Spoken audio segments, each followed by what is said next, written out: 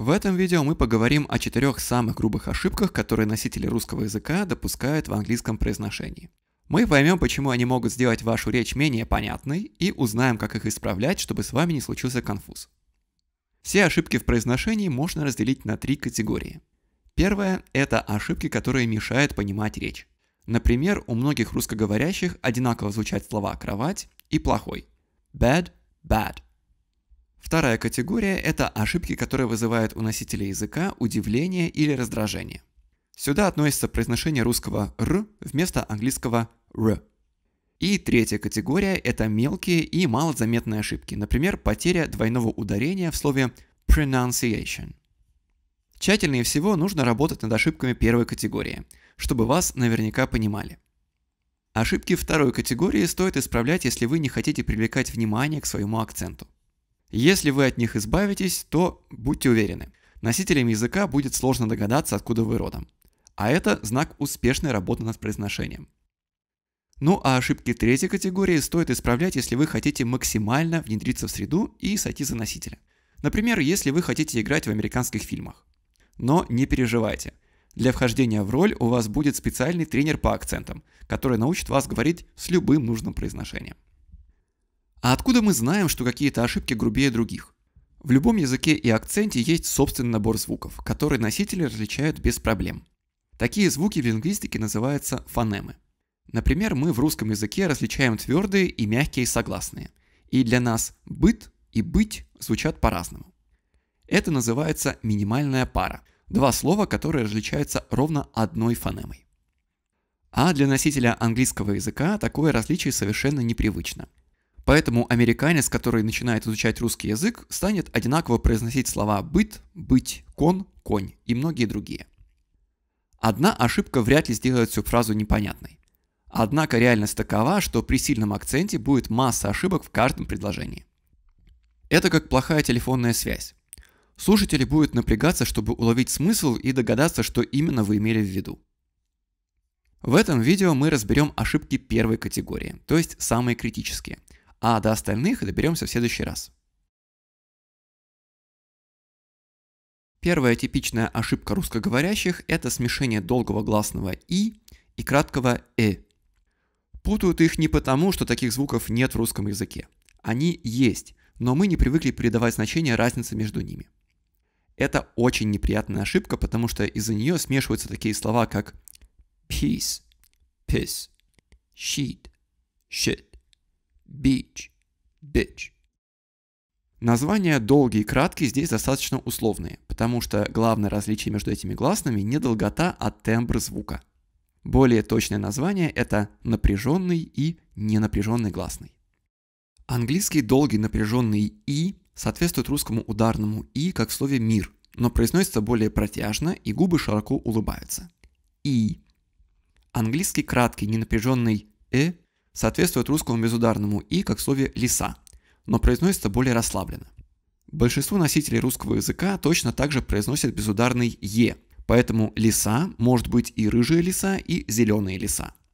Здесь важно не растягивать губы в улыбку и не поднимать язык слишком высоко к небу. Тогда будет хорошо слышно контраст. И, и. В русском языке напряженный звук бывает только под ударением, а не напряженный только без ударения. Поэтому не может быть минимальной пары слов, которые различаются только этими звуками. Вот из-за этого русское ухо не натренировано чувствовать разницу. В украинском языке есть звук «и», как в слове «лис». Этот гласный похож на английский ненапряженный «э», но произносится широко растянутыми губами, а язык немного сильнее отодвигается назад вглубь рта. Поэтому, если вы знаете украинский, то вам нужно взять звук «и», расслабить губы и продвинуть язык немного вперед. И, и. Минимальные пары слов на и, и. Heat, hit. Feet, fit. Leap, lip. Seek, sick. Sheep, ship. Steal, still.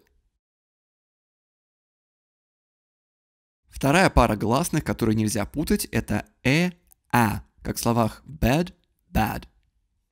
Английский звук «э», как в слове bed – кровать, соответствует русскому «э», как в слове «эму». С ним особых проблем не возникает. А вот звук «а», как в слове bad, плохой, похож на гласный в слове «пять». В русском языке его передает буква «я» между мягких согласных. Потяните. Пять. Вот такой звук. Его можно получить, если зафиксировать язык, как для звука «э», и шире раскрыть рот. Э-а, э-а, э-а. В современном британском английском этот гласный стал еще более открытым. А. От обычного русского А он отличается тем, что язык тут продвинут вперед. А, А, А, А. Минимальные пары слов на э, а. Bed, bad. Beg, bag. Head, had. Said, sad. И на закуску слова на все четыре гласных. И, и, э, а. Bid, bid, bed, bad. Deed, did, dead, dad. Lead, lid, led, lad. В русском языке мы различаем звонкие и глухие согласные. И не путаем такие слова, как бар – пар, дверь – тверь, коза – коса.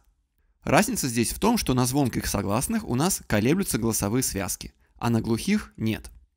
В английском языке тоже есть глухие и звонкие согласные, но контраст между ними строится хитрее, чем в русском языке.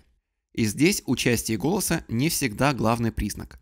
Поэтому вместо терминов «глухие», «звонкие» для английского языка часто используются названия «сильные» и «слабые» согласные – fortis and leanest consonants. В начале ударного слога глухие взрывные согласные «п», «т», «к» придыхаются, то есть за ними идет резкий выдох, и только потом начинают колебаться голосовые связки. В транскрипции придыхание обозначается настрочной буквой H. А вот звуки Б, Д, Г не придыхаются. И это их главное отличие, потому что они могут произноситься глухо или почти глухо. Англофоны различают такие слова, как pull, bull, именно по придыханию, а не по звонкости согласного. Сравните. Pull, pull, bull. Здесь русское ухо воспринимает средний вариант как тянуть, потому что согласный глухой, а английское ухо слышит здесь бык, потому что отсутствует придыхание. Да, есть акцент английского языка, где придыхание отсутствует, например, в Южной Африке. Но для большинства англофонов такое произношение – это южноафриканская экзотика. Так что не пренебрегайте придыханием. Минимальные пары на придыхание. Pill, bill. Team, deem. Cut, gut. В позиции после гласного различие между сильными и слабыми согласными еще хитрее. Сильный согласный укорачивает предыдущий гласный. И это самый существенный признак для носителей английского языка. особенно это заметно для долгих гласных и дифтонгов, которые сокращаются в два раза. А краткие гласные становятся в полтора раза короче. И для дополнительного контраста перед сильными согласными п, т, к, ч часто звучит усиливающая гортанная смычка. Это звук как в слове «не-а». А слабые согласные не укорачивают гласный, перед ними не бывает гортанной смычки, и они могут звучать звонко, хотя могут и оглушаться. Вот и получается, что англофоны различают сильные и слабые согласные в конце слов. А у нас в русском языке одинаково звучат рок, рок, кот, кот, мак, мак. Минимальные пары в английском. Pub, pub, feed, feed, rack, rag, rich, ridge. Еще один важный нюанс. В русском языке глухой согласный может озвончаться. Код да Винчи – код да Винчи.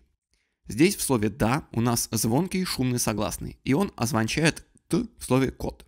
Это называется регрессивное озвончение, когда последующий звук влияет на предыдущий. А в английском языке такого озвончения нет. Поэтому pick books, pig books, выбирать книги, книги о свиньях всегда звучит по-разному. За регрессивным озвончением в своем английском произношении нужно следить, потому что у нас оно происходит на автомате, а в английском языке может поменять смысл слова. Резюме. Сильные согласные в целом произносятся более энергично и долго, а слабые более вяло. Сильные согласные всегда глухие и никогда не озвончаются. Слабые согласные могут быть звонкими, но могут частично или полностью оглушаться. В начале ударного слога взрывные сильные согласные п, т, к произносятся с придыханием. У слабых согласных придыхания нет. Сильные согласные укорачивают предыдущий гласный, а слабые нет. В конце слога перед п, т, к, ч часто звучит усиливающая гортанная смычка. И еще одна пара согласных, которые нельзя путать, это в, в. Каждый из этих звуков по отдельности произносить несложно. Звук в вообще есть в русском языке. Звука в в русском нет, но его можно получить из гласного у. В русской передаче буквы V и W передают по-разному. V как В, W как У. Например, принято писать Уильям, а не Вильям. Но все равно в русском акценте эти звуки смешиваются. Иногда даже оба произносятся как В. Наверное, кому-то кажется, что это более английский акцент. Но чаще в русском акценте здесь звучит либо «в», либо один простой и хитрый промежуточный звук, о котором мы даже не подозреваем. В русском языке мы часто произносим «в» лениво. У нас нижняя губа не доезжает до верхних зубов, и получается звук «в». Это аппроксимант, то есть очень звучный согласный, для которого воздух проходит через широкую щель без шума. Английский «в» – это тоже аппроксимант. Для русского уха наш аппроксимант «в» воспринимается как «в», а для английского он промежуточный между «в» и «в». Поэтому приходится угадывать, что имеется в виду. Поэтому для хорошего английского «в» следите, чтобы нижняя губа дотрагивалась до верхних зубов. В выражении very well начальные звуки разные. Это не very well, не very well, это very well. Минимальные пары на в, в. West, west. Vine, wine. Verse, worse. V, we.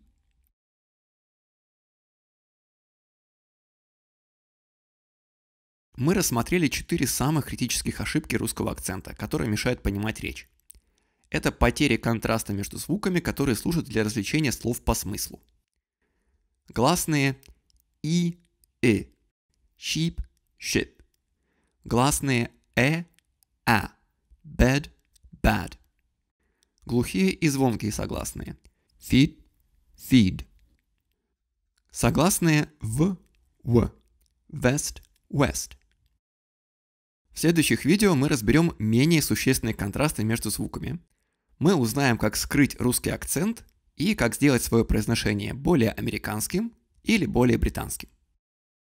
Изучайте фонетику.